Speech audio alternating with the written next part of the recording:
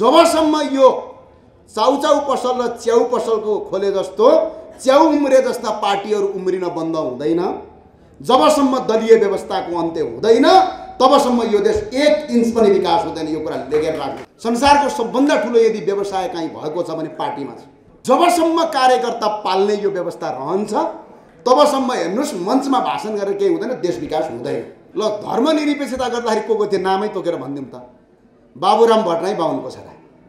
है सिद्धा कुरा माधव नेपाल बाहुनकै छोरा है गिरिजाप्रसाद कोइराला बाहुनकै छोरा है केपी शर्मा खड्गप्रसाद ओली चाहिँ अलिकति सेकेन्ड म्यान हुनुहुन्थ्यो त्यतिखेर। ल खड्गप्रसाद ओली अर्थात् केपी शर्मा ओली बाहुनकै छोरा अनि सबै बाहुनकै छोरा मिलेर यो देशमा धर्म मास्या होइन। हो कि होइन? अनि तपाईँ बाहुनले धर्म मास्ने अनि आज ठकुरी र जनजातिलाई आरोप लगाएर हुन्छ। हुँदैन। अहिले नेपाली काङ्ग्रेसका उनान्सय प्रतिशत कार्यकर्ता नेताहरू सांसदहरू टिआरसी मन पराएको छैनन्। तर त्यो टिआरसीको संसदमा विधेयक जाँदाखेरि ल यो गलत छ भनेर भन्न सक्दैनन्।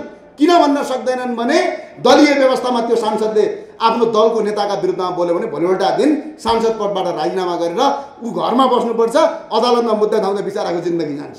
दुई हजार बाइस सालमा बनाएको बिरगन्ज चिनी मिलको पर्खाल आज पनि जीवितै छ। त्यहीँ परपट्टि कृषि औजार केन्द्र छ। अहिले चाइनाले प्रयोग गर्ने थ्रेसर मेसिन जो तपाईँको खेतमा हालिसकेपछि धान पनि सँगै काट्ने त्यहीँनिर चामल निकाल्ने र त्यहीँनिर भुस निकाल्ने मेसिन दुई हजार तेइस चौबिस सालमा बिरगन्जमा बनेको छ। आज ती सबै उद्योग कल कारखाना कसले बन्द गरायो भने यही बहुदल र यही राजनीतिक दलका कार्यकर्ताहरूले आज उद्योग कल कारखाना बन्द गराए।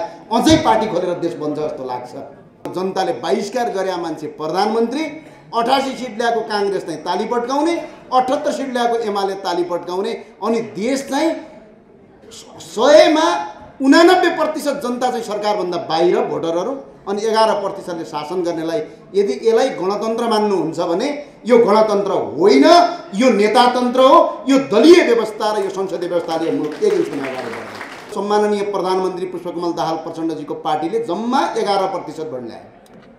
त्यो पनि काङ्ग्रेससँग गठबन्धन गरेर काङ्ग्रेसका कार्यकर्ताले नै भोट हालेर यदि एक्लै लड्दै भए मेरो हिसाबमा चार पाँच पर्सेन्टभन्दा बढी भोट आउने अवस्था थिएन। आज मलेसिया कार्ड बेचेर धनी भएको छ।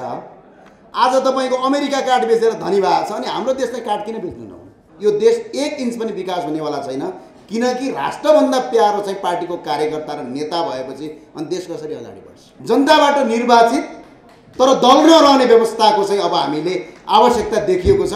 चाहे यसलाई जेसुकै भन्नुहोस् जनतामा गएर चुनाव जितेर आए भएको त। अहिलेको अर्थमन्त्रीजीले वडा अध्यक्ष पनि जित्नु भएको छैन जीवनमा कहिले पनि। अनि किन चुनाव लड्ने? मैले अस्ति यसो इतिहास हेरेको सम्माननीय अर्थ माननीय अर्थमन्त्रीज्यूको। वडा अध्यक्ष पनि जित्नु भएको छैन। किनभन्दा त गतिलो मेरो गाउँको वडा अध्यक्ष किनभने कमसेकम वडा अध्यक्ष जिते। जनता कहाँ त गए। वडा अध्यक्ष पनि जितेका छैन। अब अहिले गृहमन्त्री हेर्नुहोस् त। गृहमन्त्रीले जीवनमै चुनाव जितेका छैनन् ल। त्यो जनतासँग गएर चुनाव हारेका कृष्ण प्रसाद सिटौला फेरि तपाईँको राष्ट्रिय सभाको सांसद मात्र होइन राष्ट्रिय सभाको अध्यक्षसम्म बन्न आउँछन् भने अनि चुनावमा किन गएको त? चुनावमा किन लडेको? कुनै पनि सांसदले दलको नेताको विरुद्धमा गयो भने त्यसको सांसद पद खारेज गर्न पाउने नियम बनाएका कारणले गर्दा आज सांसद पनि सदनभित्र सुरक्षित छैनन्। यसलाई परिवर्तन गर्नुपर्ने अब आवश्यकता छ। जबसम्म यो व्यवस्था परिवर्तन गर्न सक्दैनौँ तबसम्म देशका जनताको अवस्था परिवर्तन गर्न सक्दैनौँ। वास्तवमा यो देशमा दुईवटा संसदको आवश्यकतै छैन। एउटा प्रतिनिधि सभा भए पनि काफी छ। जहिले पनि बेलायतकै फोटोकपी गर्नुपर्छ अमेरिकाकै फोटोकपी गर्नुपर्छ भन्ने केही छ। सभापति महोदय र प्रमुख अतिथिज्यू र आदरणीय दाई चन्द्र भण्डारीज्यू र पूर्व मन्त्री हाम्रो कानुन मन्त्री शेरबहादुर तामाङज्यू प्रदेश सांसदज्यूहरू तपाईँ सम्पूर्ण आमा बुवा दाजुभाइ तथा दिदीबहिनीहरूमा स्वीकार्नुहोस्। म सबैलाई नमस्कार भन्न चाहन्छु। सर्वप्रथम त हामीले ठोकर्पालाई चिनेको चाहिँ युद्धभूमि भनेर चिने हो। कतिपयलाई थाहा छैन होला ठोकर्पामा माओवादीको तर्फबाट पनि मेरा साथीहरू मरेका छन्।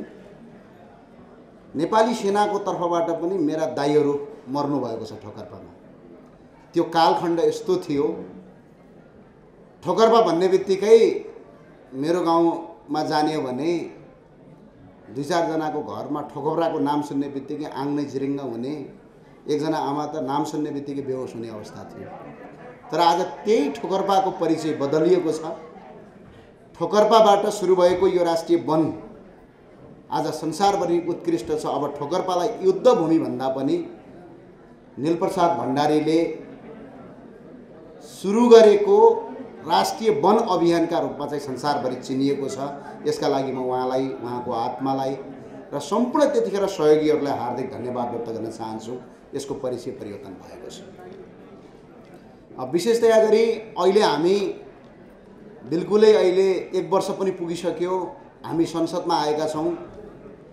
विभिन्न चरणहरूमा विभिन्न ठाउँमा हामीले विभिन्न किसिमको अवस्थाहरू पारित गरेका छौँ। दुःख पनि छ कष्ट पनि छ सोचे बराबरको प्रतिफल पनि छैन। सबै कुराहरू भएका छन् तर एउटा ध्रुव सत्यका साथ भन्नपर्छ हामी दलीय राजनीतिकबाट चुनाव जित्या हो। तर आज मलाई के लाग्दैछ भने दलीय राजनीतिकमा के हुन्छ भने आफ्नो राष्ट्रभन्दा प्यारो चाहिँ दलको नेता हुन्छ। आफ्नो देशभन्दा प्यारो चाहिँ कार्यकर्ता हुन्छ। अनि मैले चाहिँ के सोचेँ भने जबसम्म यो देशमा दलीय व्यवस्था हुन्छ चाहे त्यो जुनसुकै व्यक्तिहरू नयाँ हुन् यो देश एक इन्च पनि विकास हुनेवाला छैन किनकि राष्ट्रभन्दा प्यारो चाहिँ पार्टीको कार्यकर्ता र नेता भएपछि अनि देश कसरी अगाडि बढ्छ। त्यही भएर जनताबाट निर्वाचित तर दल नरहने व्यवस्थाको चाहिँ अब हामीले आवश्यकता देखिएको छ। चाहे यसलाई जेसुकै भन्नुहोस् जनतामा गएर चुनाव जितेर आयो भइगयो त। अहिलेको प्रधानमन्त्रीको कुरा गरौँला हेर्नुहोस् त कस्तो व्यवस्था ल्यायौँ। चन्द्रदा यहीँ हुनुहुन्छ। हाम्रो माननीय हुनुहुन्छ। तपाईँहरूले त्यतिखेर चाहिँ सोच्नु पर्थ्यो। अहिले नेपालभरि हामी चुनावमा गयौँ। हो कसैले गठबन्धन गऱ्यौँला कसैले स्वतन्त्र जित्यौँला कसैले पार्टीको उम्मेदवार भएर जित्यौँला कसैले चुनाव हारे होला त्यो टेक्निकल पार्टको कुरा हो। ल सम्झिनुहोस् त एकछिन। देशभरि तपाईँको अहिले हाम्रो सम्माननीय प्रधानमन्त्री पुष्पकमल दाहाल प्रचण्डजीको पार्टीले जम्मा एघार प्रतिशत भोट ल्यायो। त्यो पनि काङ्ग्रेससँग गठबन्धन गरेर काङ्ग्रेसका कार्यकर्ताले नै भोट हालेर यदि एक्लै लड्दै भए मेरो हिसाबमा चार पाँच पर्सेन्टभन्दा बढी भोट आउने अवस्था थिएन। अनि अब चुनाव गऱ्यो जित्यो गाउँ गाउँमा गएर के भन्यो भने हाम्रो पार्टीलाई ठुलो बनायो भनेपछि हामी प्रधानमन्त्री भएर देश विकास गर्छौँ दुनियाँ भनेर आइयो। जब संसदमा आइयो देशभरिका जनताले चाहिँ उहाँबाट वाक्कै भएर अब यिनको पार्टीलाई भोट हाल्नु हुँदैन जनताले बहिष्कार गरे मान्छे प्रधानमन्त्री अठासी सिट ल्याएको काङ्ग्रेस चाहिँ ताली पट्काउने अठहत्तर सिट ल्याएको एमाले ताली पट्काउने अनि देश चाहिँ सयमा उनानब्बे प्रतिशत जनता चाहिँ सरकारभन्दा बाहिर भोटरहरू अनि एघार प्रतिशतले शासन गर्नेलाई यदि यसलाई गणतन्त्र मान्नुहुन्छ भने यो गणतन्त्र होइन यो नेतातन्त्र हो यो दलीय व्यवस्था र यो संसदीय व्यवस्थाले मुलुक एक अगाडि हामीले यो कुरा विचार गरेर गरिदिउँ न त। हामी राजा चाहियो भन्ने हाम्रो प्रिन्सिपल होला रापरबाको सिद्धान्त होला त्यो पाटो आफ्नो ठाउँमा छ। कसैले राजा चाहिन्छ भन्लान् कसैले चाहिँदैन भन्लान् तर आज वास्तविक गणतन्त्र के हो त? के यो वास्तविक गणतन्त्र हो? चुनाव हारेका कृष्ण प्रसाद सिटौला फेरि तपाईँको राष्ट्रिय सभाको सांसद मात्र होइन राष्ट्रिय सभाको अध्यक्षसम्म बन्न आउँछन् भने अनि चुनावमा किन गएको त? चुनावमा किन लडेको? अब त के भयो भने चुनाव पनि नलड्नु पर्ने एउटा जातमा जन्म्यो भने पुग्यो। अब अब त बच्चा बच्चीले के गर्नु पर्यो भने म यो जातमा जन्मिन पाऊँ भनेर भगवान्सँग पहिल्यै जन्मिनभन्दा अगाडि प्रार्थना गर्नु पर्यो। किनभने जातमा जन्म्यो भने पुगिगयो भोट ल्याउनु पर्दैन जनता कहाँ जानु पर्दैन दुःख गर्नु पर्दैन मेहनत गर्नु पर्दैन नेताको नजिक भएर मुसुक्कै हाँसिदिए पुगिगयो। यो किसिमको अवस्थाले आज देशमा सबभन्दा ठुलो व्यवस्था के हो? आज देशको सर्वभौम भन्छौँ हामी सांसद। दाईहरू पनि हुनुहुन्छ हामी पनि छौँ चन्द्र दाईहरू। संसदमा एउटा कानुन पारित गर्न लाग्यो भने संसद भवनभित्र कोही पनि त्यहाँ ताली पट्काउँदैन त्यहाँ समर्थन गर्दैन। बाहिर लबीमा आयो भने के भन्छन्? ओ ज्ञानेन्द्रजी तपाईँले उठाएको कुरा त ठिक थियो। चन्द्र दाईलाई त भन्ने नै हो। चन्द्र दाई तपाईँले गरेको कुरा ठिक थियो। अब भित्र ताली पट्काउँदाखेरि दलका नेताको टाउको हेर्नुपर्ने व्यवस्था।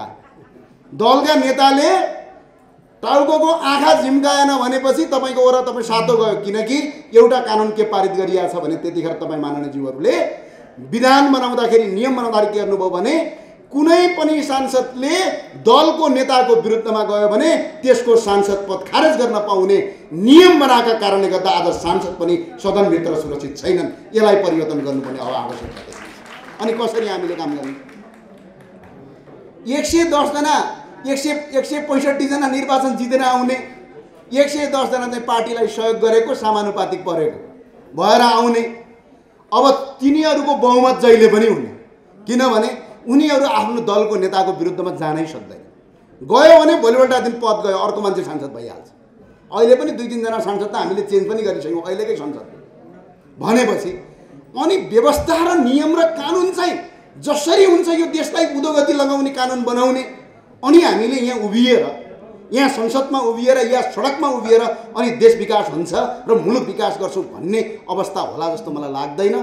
त्यही भएर काङ्ग्रेस एमाले कम्युनिस्ट हिन्दूवादी चाहे जुनसुकै धर्म मान्नुहोस् तर अब हाम्रो एउटा मात्रै उद्देश्य के हुनुपर्छ भने जनताबाट प्रत्यक्ष निर्वाचित कार्यकारी प्रधानमन्त्री चाहिँ अबको आवश्यकता हो।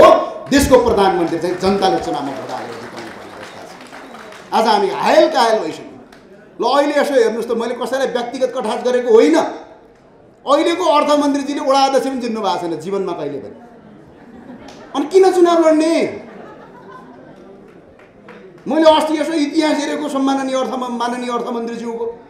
वडा अध्यक्ष पनि जित्नु भएको छैन। तिनीभन्दा त गतिलो मेरो गाउँको वडा अध्यक्ष किनभने कमसेकम वडा अध्यक्ष जिते जनता कहाँ त गए। वडा अध्यक्ष पनि जित्या छैन। अब अहिले गृहमन्त्री हेर्नुहोस् त। गृहमन्त्रीले जीवनमै चुनाव जितेका छैनन् ल। त्यो जनतासँग गएर। अनि के गर्नुपर्ने? दलका नेताका नजिक पर्नुपर्ने। मलाई पनि कहिलेकाहीँ डर लाग्छ। यसो पार्टी अध्यक्षका विरुद्धमा के गरिहाल्यो भने निकालिदिइहाल्छन् कि क्या अनि यस्तो किसिमको व्यवस्थाले यो किसिमको कानुनले यो किसिमको नीतिले देश बन्छ भन्नु भनेको सिर्फ हामीले भाषण गर्नका लागि हो देश बन्दैन। त्यो भएको हुनाले यो देशको सर्वोच्च निकाय संसद हो। त्यो संसद आज कस्तो छ भने एउटा सिन्डिकेट लागू भएको छ। अब हेर्नु राष्ट्रिय सभा के बनाइदिनु भएको छ दाजुहरूलाई मैले आज पनि भने। मेरो सरदेव गुरुहरू भए हुनाले भने राष्ट्रिय सभा बनाइदिनु भयो प्रतिनिधि सभाभन्दा ठुलो। हेर्नुहोस् है वास्तवमा यो देशमा दुईवटा संसदको आवश्यकतै छैन। एउटा प्रतिनिधि सभा भए पनि काफी छ। जहिले पनि बेलायतकै फोटोकपी गर्नुपर्छ अमेरिकाकै फोटोकपी गर्नुपर्छ भन्ने केही छ।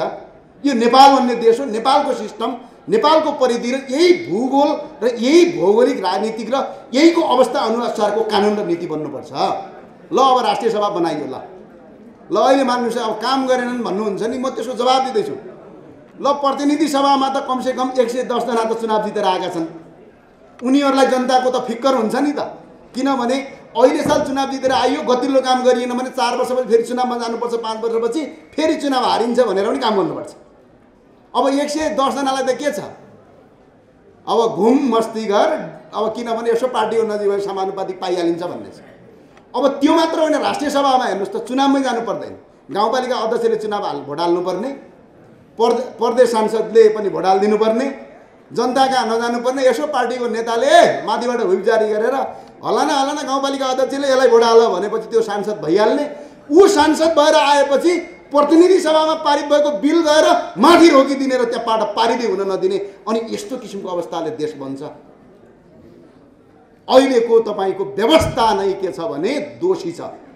जबसम्म यो व्यवस्था परिवर्तन गर्न सक्दैनौँ तबसम्म देशका जनताको अवस्था परिवर्तन गर्न सक्दैनौँ। यो कुरा स्पष्ट राख्नुहोस्। यो भनिरहँदा धेरैलाई के लाग्दो भने होइन राज संस्था नै फेरि ल्याउने भयो कि क्या भने अब हामी त राजा ल्याउने पार्टीकै मान्छे हो। यसमा अप्ठ्यारो मान्नु पर्दैन। राजा हाम्रो आस्था हो हाम्रो सिद्धान्त होला तर हामीले शासन गर्ने राजाको परिकल्पना गरेको होइन। धेरै कुरा परिवर्तन गर्नुपर्नेछ अब वन जङ्गलको कुरा गर्नुभयो अघि माननीयज्यूले अब विकास भएन भने अस्ति म मेरो जुम्लामा गएको। एउटा त्यो रारा जाने बाटो छ कि पछाडि बाटो? त्यो बाटोको अगाडिपट्टि ठेकेदारलाई मैले बिसपल्ट फोन गरिसकेँ होला। अलिकति पनि बाटो बन्दैन। किन बन्दैन भनेपछि त्यहाँनिर एउटा रुख रहेछ। अब त्यो रुख काट्नका लागि मन्त्री परिषदको निर्णय चाहियो अब। ल हेर्नुहोस्। अनि कसरी देश विकास हुन्छ? बरु एउटा कानुन कस्तो पारित गर्नुपर्ने अब आवश्यकता छ भने दुईवटा रुख लाउने एउटा रुख काटिदिने। मजाले काटिदिने। आज मलेसिया काठ बेचेर धनी भएको छ। आज तपाईँको अमेरिका काठ बेचेर धनी भएको छ अनि हाम्रो देशलाई काठ किन बेच्नु नहुने? रुख त फेरि लाउने कुरा। कानुनका धेरै कुराले गर्दाखेरि आज बाजा अडचन छ। अब अहिले त हामी के छौँ भने भुमरीको के भन्छ यो? रुमलियो कुहिरोभित्र रुमलिएको चरा जस्तो छौँ। तपाईँलाई स्पष्ट कुरा। किनभने अपराध होलान् कि केही होलान् कि भनेर संसदमा आवाज उठाइरहेको छु आफ्नो ठाउँमा छ। तर त्यो आवाजको कार्यान्वयन भएको छैन। अहिले पनि म अलिकति ढिला भएँ। कारण किन आज सभामुखले बैठक बोलाउनु भएको थियो। आज एउटा क्यालेन्डर लागू गर्ने भन्ने कुरा भएको छ। त्यसमा पनि हामीले एउटा कुरा के राखेका छौँ भने क्यालेन्डर लागू गर्ने। अब संसदमा गयो। शून्य समय र विशेष समयमा कुरा उठाउने भनेको छ। त्यो कुरा कहिल्यै पनि समा समस्याको समाधान हुँदैन। त्यो भएको हुनाले अहिले हामीले के गरिदिएका छौँ भने आजको बैठकमा शुक्रबारका दिन हरेक शुक्रबारका दिन हरेक मन्त्रालयको मन्त्रीले चाहिँ त्यसको जवाब दिने। आज चाहिँ त्यो सहमति भएको छ। त्यो यदि लागू भयो भने मन्त्री चाहिँ जवाबदेही हुन्छन् भन्ने विषयवस्तु अगाडि बढेको छ। आज एक महिनामा एक वर्षमा झन्डै सोह्र लाखभन्दा मान्छेहरू विदेश जानुपर्ने अवस्था आएको छ। यो किन आयो भनेपछि यसको दोषी चाहिँ हामी कानुन बनाउने मान्छे हो। अब अहिले हेर्नुहोस् त कस्तो छ अवस्था। हाम्रा नेपालबाट बाहिर गएका दाजुभाइसँग ट्रिलियन्स अफ डलर छ अरबमा होइन खरबमा होइन ट्रिलियन्समा पैसा छ। तर त्यसको दस हजार रुपियाँ मात्रै दस हजार डलर मात्र नेपाल ल्यायो भने यहाँको सरकारी कार्यालयले खोजी तलास गरेर बिचरा त्यो पैसा किन ल्यायौँ भनेर टाउकोमा दसपल्ट खान्छ यस्तो किसिमको कानुन छ। आज तपाईँ एउटा उखोलो अस्ति एउटा अहिले केही गर्नु पर्दैन। एउटा म सानो सानो कम्पनी खोल्छु र व्यापार गर्छु भन्नुहोस् त। तिन ठाउँमा त दर्ता गर्नुपर्छ। पहिला जाऊ कम्पनी रजिस्ट्रार कार्यालयमा दर्ता गर। उद्योग विभागमा गएर दर्ता गर अनि आएर ओडामा दर्ता गर। तिन ठाउँ दर्ता गर। ब्याङ्कमा जाऊ प्यान नलिँदासम्म खाता खोल्न दिँदैन।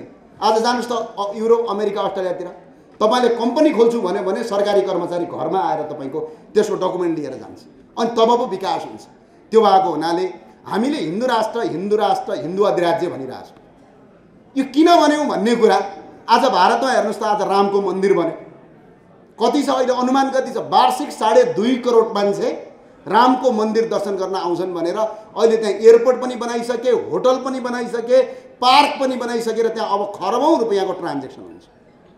हाम्रो विश्वभरिकै संसारभरि छरिएका हिन्दूहरूको पवित्र स्थलभन्दा पनि मुख्य मन्दिर जस्तै मुसलमानको मक्का मदिना छ जस्तै इसाईहरूको इजरायल छ रोम छ त्यस्तै पवित्र मन्दिर हिन्दूहरूको सबभन्दा ठुलो मन्दिर पशुपतिनाथ आज नेपालमा छ।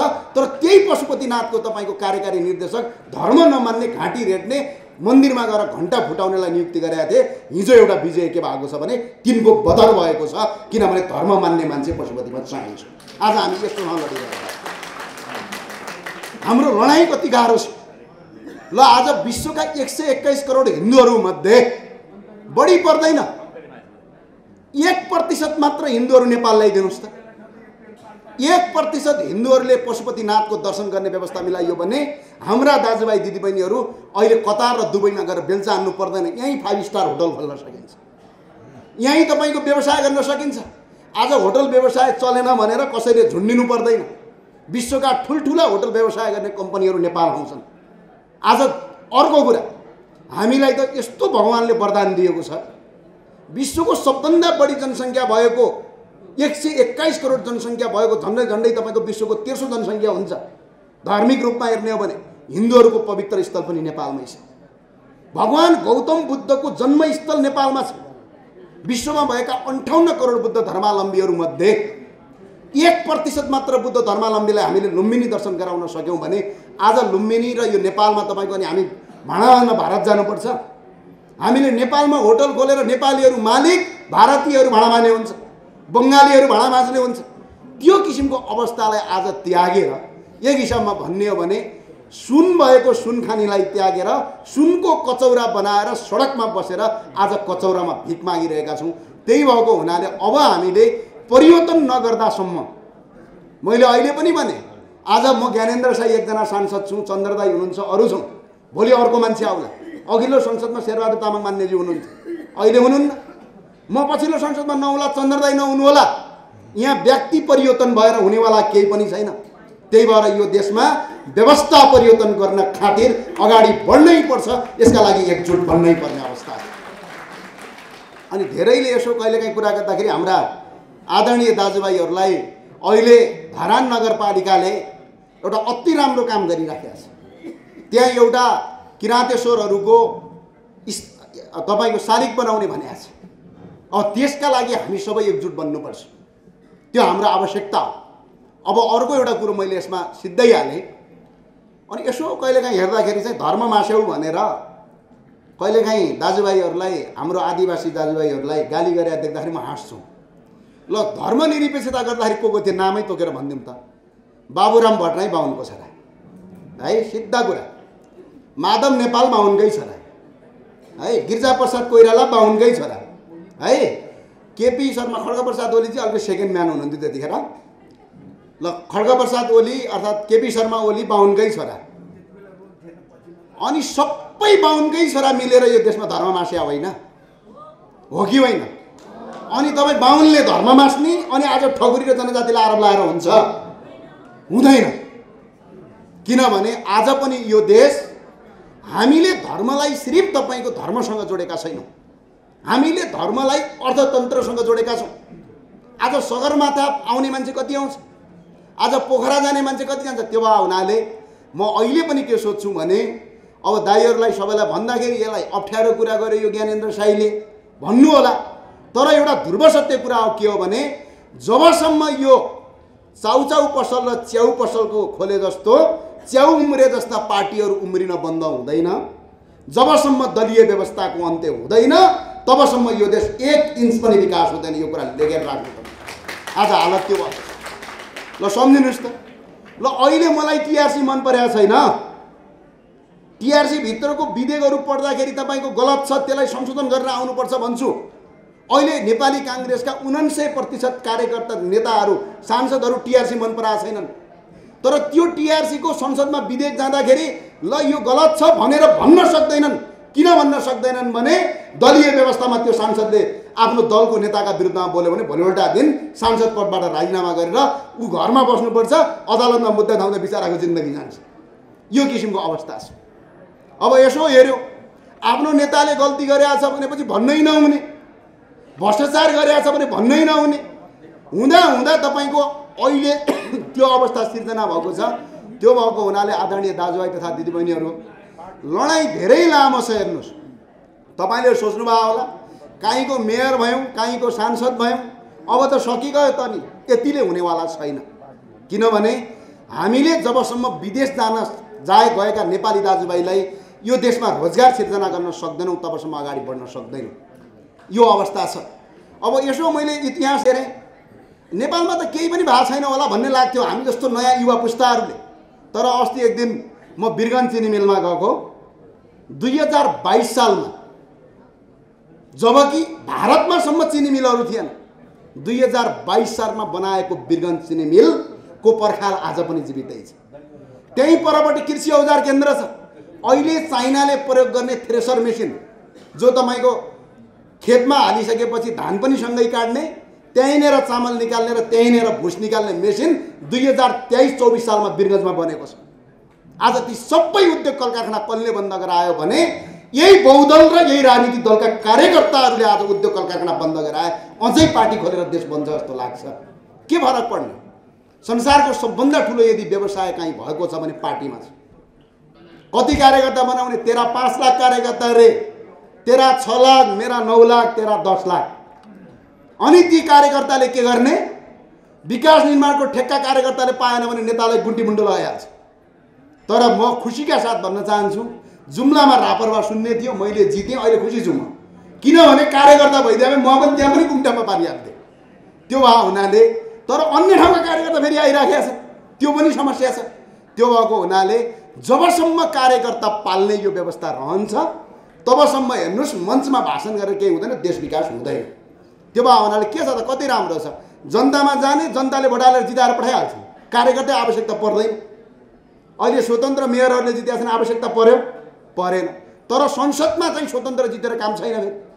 किनकि अहिलेको व्यवस्था अनुसार जाने हो भने त संसदमा दल चाहियो। दल नहुँदासम्म प्रधानमन्त्री बन्न पाउँदैन यस्तो अवस्था छ यो देशमा। त्यो भए हुनाले संविधानका केही कुरा आदरणीय चन्द्रदाई नै यहीँ भएको हुनाले मभन्दा धेरै विज्ञ भएको हुनाले दाईले धेरै पढ्नु पनि भएको छ पिएचडी पनि गर्नु भएको छ। संसदमा एउटा चन्द्रदाईलाई हामीले हेर्ने नजर भनेको उनी काङ्ग्रेस उनकी एमाले उनकी माओवादी हुन् होइन। यो देशको राष्ट्र सपुत हो उनले गलत गर्दैनन् भनेर हामीले संसदमा हेर्ने हो। यो हिसाबले दाई यहीँ भएको हुनाले हामी सबैले के गर्नुपर्ने आवश्यकता छ भने नेपालको संविधान दुई हजार बहत्तरमा केही कुराहरू गलत छन्। ती कुराहरू परिमार्जन गर्नुपर्छ। त्यो लेख्ने काम फेरि बाहिरको जनता होइन संसदै हो। संसदभित्र एक बार लेख्यो भने अगाडि बढ्छु। अब धेरै मैले बोलेँ। अब माफ गर्नु होला लामो भयो। सम्पूर्ण दाजुभाइ तथा दिदीबहिनीहरू यहाँ आउनु भएको छ। सबैलाई तपाईँलाई आदरणीय बुवाको यहाँ यो यस्तो पवित्र कार्यक्रममा आएर पनि अलिकति चर्को बोल्यो भन्नु होला। है तर यो आवश्यकता थियो त्यो भएको हुनाले हाम्रो नवा युवा पुस्ताहरूलाई यदि अगाडि बढाउने हो भने दलीय राजनीतिभन्दा माथि उठ्नपर्छ जुट्नपर्छ जबसम्म दल हुन्छन् तबसम्म देश विकास हुन्न यो कुरा लेखेर राख्नुहोस्। हस् धन्यवाद। सबैलाई।